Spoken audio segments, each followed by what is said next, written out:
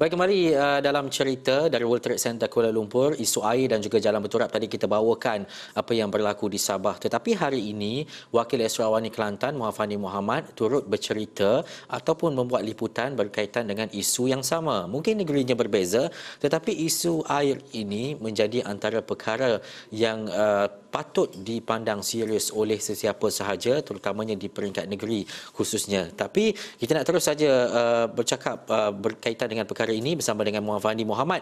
Muhammad kalau boleh kongsikan bagaimana uh, uh, apa sebenarnya yang yang berlaku, kesudahannya bagaimana dan apa tindakan seterusnya?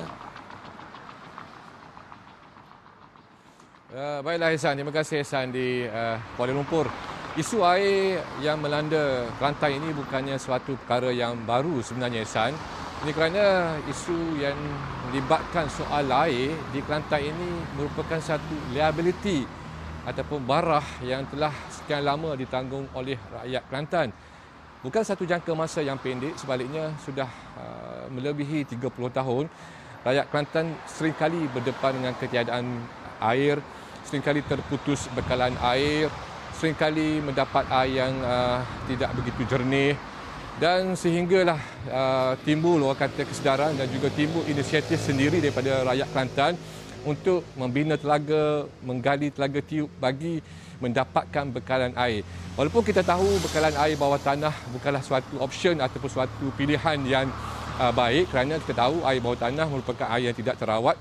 Namun itu sahaja pilihan yang ada pada rakyat Kelantan apabila seringkali mereka berdepan dengan situasi ataupun ketiadaan air ini apatah lagi apabila musim cuti sekolah, musim PKP pada ketika ini dan juga musim perayaan uh, penggunaan air akan bertambah dan apabila berlakunya pertambahan penggunaan air uh, berlakulah uh, tekanan air yang rendah yang seringkali kawasan-kawasan tertentu jajahan-jajahan tertentu termasuk jajahan di luar daripada bandar Kota Baru ini akan tidak mendapat bekalan air yang cukup. Dan saya sempat uh, menemu ramah dan menemui uh, sebahagian rakyat Kelantan yang turut mengakui mereka sudah uh, putus asa dengan situasi air yang melanda ataupun ketiadaan air di negeri Kelantan ini. Jadi apa kata kita dengarkan dulu apa yang diluahkan oleh penduduk di kampung Pulau Condong.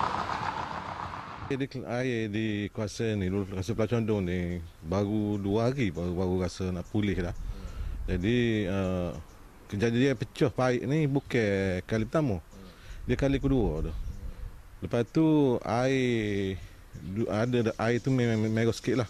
Mungkin baru dia nak rawat tu. Uh, jadi kita agak benda ni tak jadilah sebab ni kali kedua. Pengalaman kali pertama tu kita pergi dah. So, Ha. Masa pertama tu memang tak ada air langsung. Ha, tak ada air langsung. Ha. Jadi sekarang ni dari sudut uh, air yang ada lah ni walaupun sebelum pada pipe pecah ni lagu mana air air kajik yang ada tu? Air ni kalau kita tengok tu warna dia bukan jenis sangat lah. Dia keruh sikit kau merah tu. Sikit hmm. itulah. Ha. Dari segi tekanan air tu lagu mana?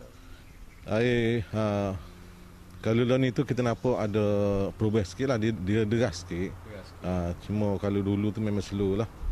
Sebab kalau kita tengok pun tak patutlah sebab dia dah pipe ni pipe baru kan. Ha, jadi dah projek tu banyak dah dulu dia buat tu. Jadi masih berapa jadi masih bulat juga lagi.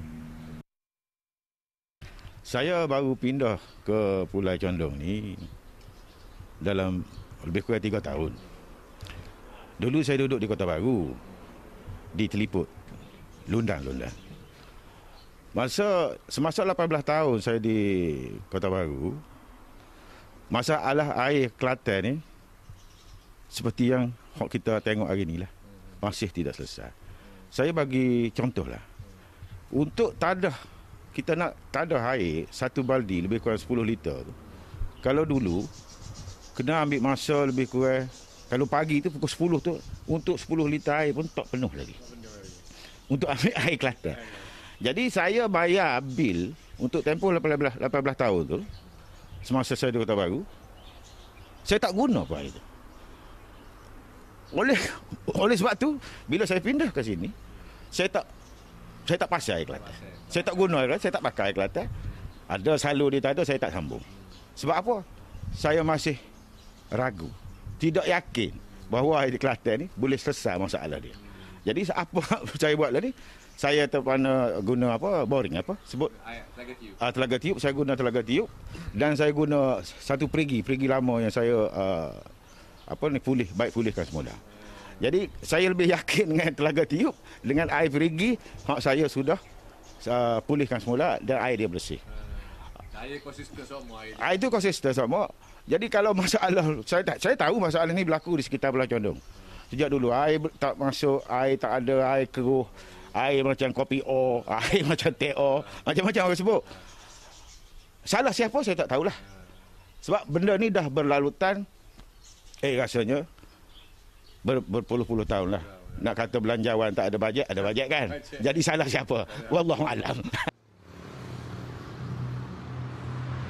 Ya Ihsan, apa yang kita dengar, apa yang kita ketahui itu yang diluahkan oleh sebahagian penduduk di Pulau Condong dalam kawasan Macang yang pada ketika ini berdepan situasi yang sukar di mana uh, paip utama yang menyambungkan antara loji air loji rawatan air Merbau Condong mengalami kerosakan dan menambahkan lagi perit jerih penduduk di Macang untuk mendapatkan bekalan air bersih Ihsan. Mhm. Dan juga Fandi, kalau boleh saya bertanyakan uh, dalam uh, waktu berbaki ini, apa selain daripada masalah tangki itu, apa yang menyebabkan uh, masalah dan juga isu ini mungkin lambat diselesaikan dan juga ia ia berulang? Apa sebenarnya isu-isu utama yang membelenggu masalah ini? Tak ada tak cukup air ke, tak cukup peralatan ke atau sebagainya? Sebenarnya Ihsan, untuk makluman seperti yang dimaklumkan oleh pihak kerajaan dan juga Air Kelantan Sembahak AKSB bahawa di Kelantan merupakan negeri yang paling banyak mempunyai air sumber air bawah tanah. Walaupun kita mempunyai Sungai Kelantan tapi uh, namun uh, uh, loji rawatan air yang ada uh, pada masa ini menggunakan sumber air daripada bawah tanah melalui sistem air telaga tiup yang dibina oleh AKSB.